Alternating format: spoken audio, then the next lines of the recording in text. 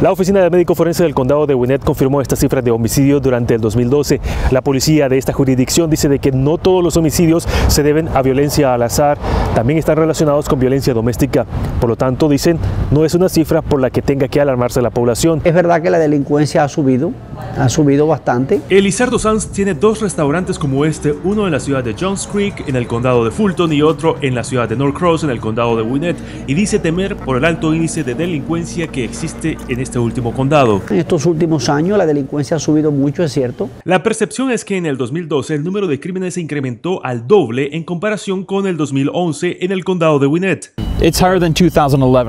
El vocero de la policía de este condado dice de que las cifras se incrementaron de 28 a 41, pero que no están relacionados a homicidios delincuenciales, sino a razones que involucran asuntos familiares. En febrero del año anterior, Nick Jackson, de 15 años de edad, fue asesinado en North Cross por arma de fuego al tratar de prevenir un robo en la casa de sus padres. El crimen estaba relacionado aparentemente porque uno de sus padres estaba involucrado en el tráfico de drogas. En septiembre, la joven de origen hispano Monique Marlowe fue asesinada de un disparo por un desconocido en el estacionamiento de su trabajo en la ciudad de Duluth.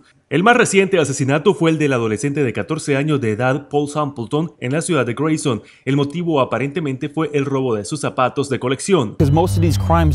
La mayoría de estos crímenes ocurrieron en viviendas particulares y nosotros no podemos poner un policía en cada casa. Y en los otros las personas están involucradas en actos criminales y no podemos estar ahí. Hacemos lo que podemos para combatir el crimen. Para este empresario en caso de robo la alternativa es defenderse, pero dice hay desventajas.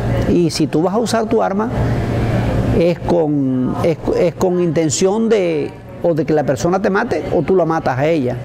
Este señor en la ciudad de Norcross dice que fue testigo de cómo los ladrones asustaron a sus vecinos tras ingresar a la fuerza en su vivienda y poner un arma en la cabeza de su bebé para robarles, hoy considera seriamente comprar un arma para estar prevenido. En todo caso, ¿estaría dispuesto a disparar a matar?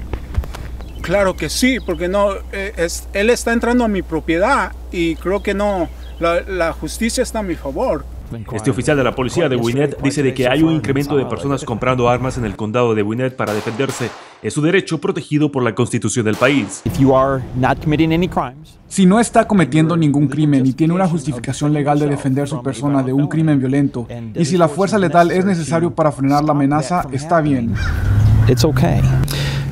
Por la ley federal, si estás indocumentado, no puedes tener posesión de una arma. Edwin Ritter agrega de que es un crimen desde ya estar indocumentado y poseer un arma complica las cosas para una persona. No, they don't, because they're committing a crime. Pero claro, si alguien entre a su casa, es obvio que usted tiene todo el derecho ah, del mundo para protegerse. Cuando tú sacas un arma es para usarla. El oficial de policía dice de que una persona mayor de edad puede adquirir un arma sin necesidad de registrarla. No la puede portar en edificios públicos y más aún tiene el derecho a matar cuando un intruso entre a su vivienda a la fuerza o sin autorización y amenace la integridad personal. Soy Luis Estrada reportando para Noticiero Telemundo Atlanta.